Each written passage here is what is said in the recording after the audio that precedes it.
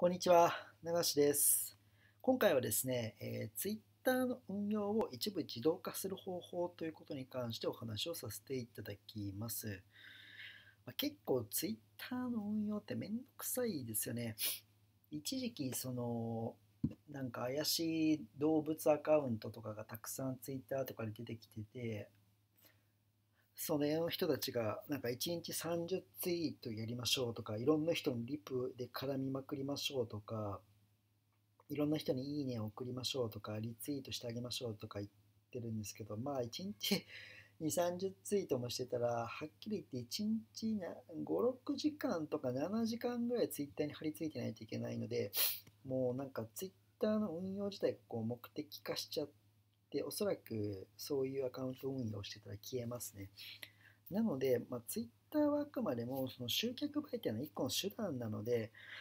まあ、あんまりこう時間をかけすぎない方がいいかなというふうに思っています。なので、まあ、Twitter 以外でのまず実績とかを作った上での、まあ、Twitter 運用なので、やっぱり目的と手段逆だと終わりますね。なので、その Twitter にあまり時間をかけずに一部自動化しちゃうっていう風なことの今回はご提案です。で、まあ、大体まあ3つステップがありまして、まずここはまあ本質的な内容なんですけども、反応がいいツイートっていうのは大体50個ぐらい、えー、まずそれを作成しましょう。反応がいいの基準ですが、えー、1リツイート以上されてるとか、5いいね以上されてるとか、まあ、何かしら、え、フォロワーの方が、えそれを気づきになってるっていうふうに思っている役に立つから、えー、いいねをしたりリツイートしたりするんですけどもそういうふうに1リツイート以上とか、まあ、5いいね以上ついてるようなツイートこれを大体50個以上ストックってことですねなんでその50個以上をツイートを見つけるためには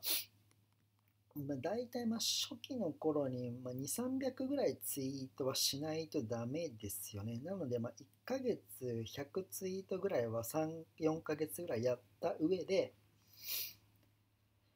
なので、それで反応がいいツイート50個を、え、さらにこう絞ってピックアップして、え、スプレッドシートとかに貼ったりとかすると。で、それでストックしておく。なので、最初の、まあ、立ち上げですね、ツイッターの運用の立ち上げの最初の3ヶ月ぐらいは、1ヶ月で100から150ツイートぐらいはした方がいいです。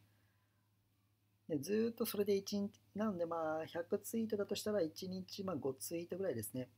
多くて、え初期の多い段階でま5ツイートで、せいぜいマックスで10ツイートぐらいは最初やっておく方がいい。1日20ツイートだと他のことができなくなるからダメ。で、その、で、反応がいい1日5ツイートから10ツイートぐらいして、えー、で、3ヶ月ぐらいで3、400ツイートと。その中から反応がいいツイートを50個だけストックする。で、そのストックから、えー、ツイボットっていう、えー、ツイッターを、えー、自動でつぶツイッターのつぶやきを自動でつぶやいてくれる、えー、ツールがあるんですけども、そこに、えー、反応がいいツイートを、まあ、コピペして貼っておく。で、自動で1日2回つぶやいてくれるように設定をすると。で、完全にボットだと、まあ、フォロワーの方離れていきますので、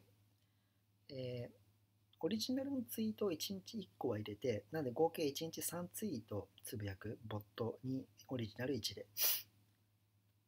で、これ、こういうね、まあ、1日3ツイートですね。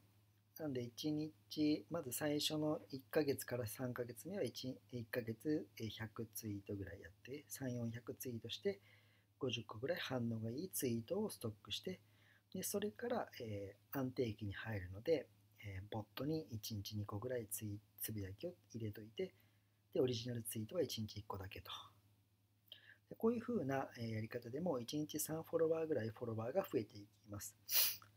なんでこういう風な安定期に入った段階では、えー、もっとこの Twitter 以外の実績を作ったりとか、まあ、Twitter で、えー、作れた実績をもとに、えー、企業案件を取ってみるとか、企業へ営業してみるとかして、え、さらなる収益化を拡大しよう、収益の拡大をしていった方がいいと思います。